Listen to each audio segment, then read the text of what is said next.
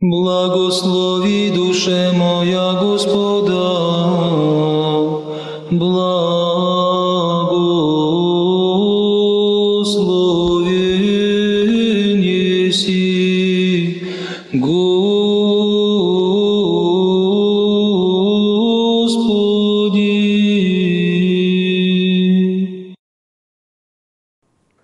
Христос воскресе! Дорогие братья и сестры, сегодня суббота, 21 мая. В этот день Святая Церковь предлагает для нашего назидания отрывок Евангелия от Иоанна, 17 стиха главы 15 по 2 стих главы 16. Послушаем это евангельское зачало в прочтении отца Александра.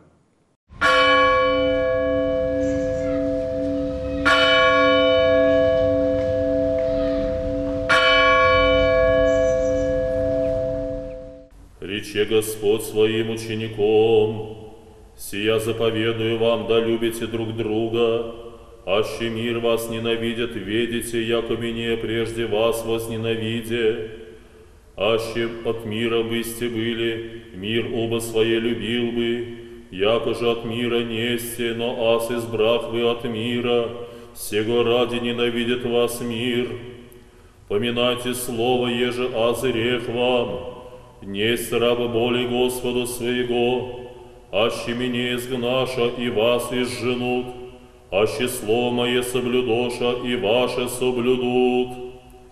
Но сия вся творят вам за имя мое, яко не видят пославшего мя, аще не бы пришел и глаголал им греха не быша имели, ныне живи ныне иму то гресе своем, ненавиди меня и Отца моего ненавидит, аще дел не бы сотворил в них, их же и на них тоже сотвори, греха не быша имели, ныне же и видиша, и возненавидишь меня и Отца моего. Но да сбудется слово, писанное в законе их, яко возненавидишь туне, и когда же придет утешитель, его же аз послю вам от Отца, Дух истины и же от Отца исходит, той свидетельствует о мне, и вы же свидетельствуете, яко искони со мною есте. Сия глаголов вам, да не соблазнитесь, обсолнишь и жденут вы, но придет час, да всяк и же убиет вы, возмнится.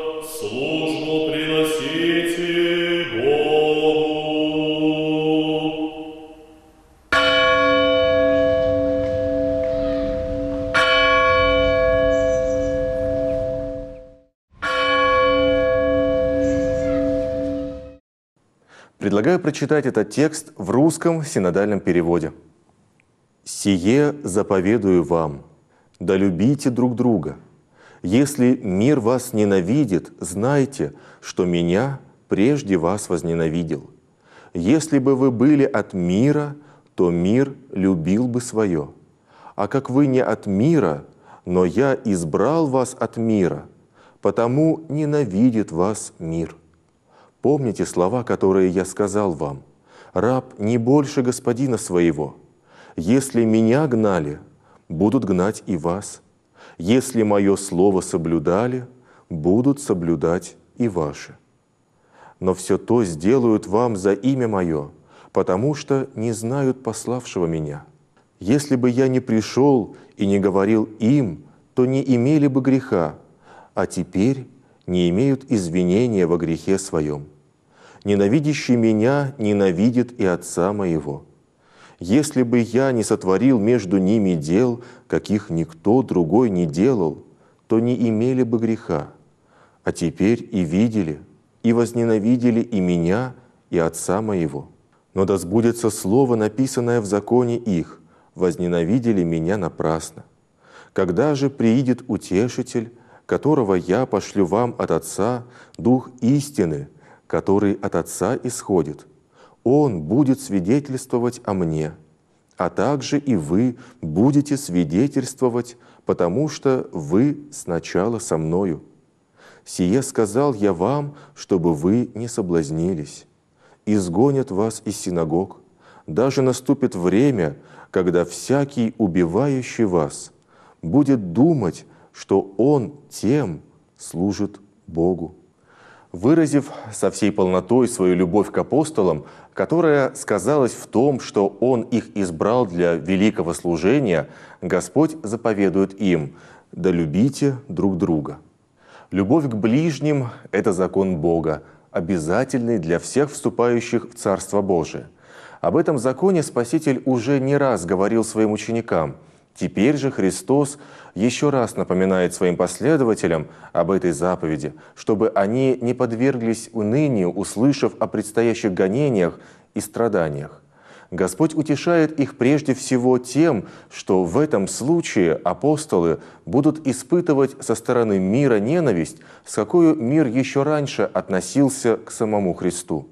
Епископ Михаил Лузин пишет – Утешением и укреплением при всем последователям Христовым должна быть мысль, что эта ненависть и вражда мира направлена, собственно, против Христа и Отца Его Небесного.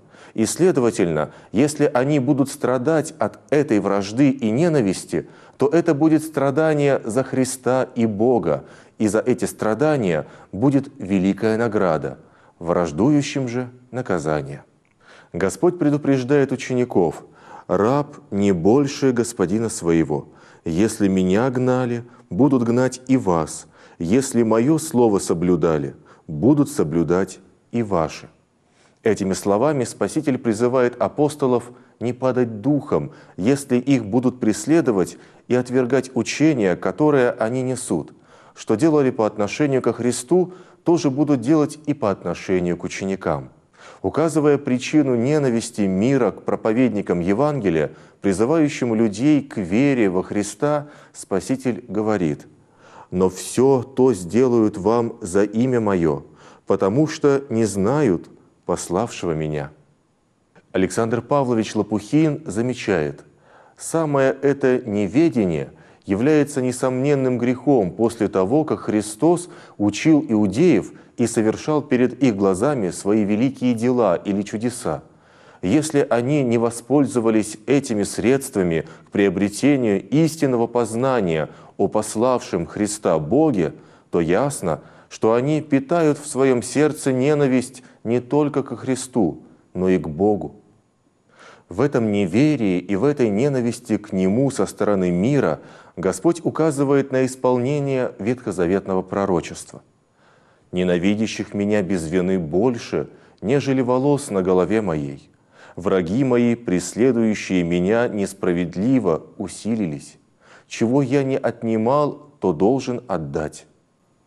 Здесь Давид изображает обрушившиеся на него гонения со стороны врагов, но Господь усматривает в Давиде свой прообраз – а в отношении врагов к Давиду указание отношения мира к истинному царю Израилеву, потомку Давида по плоти.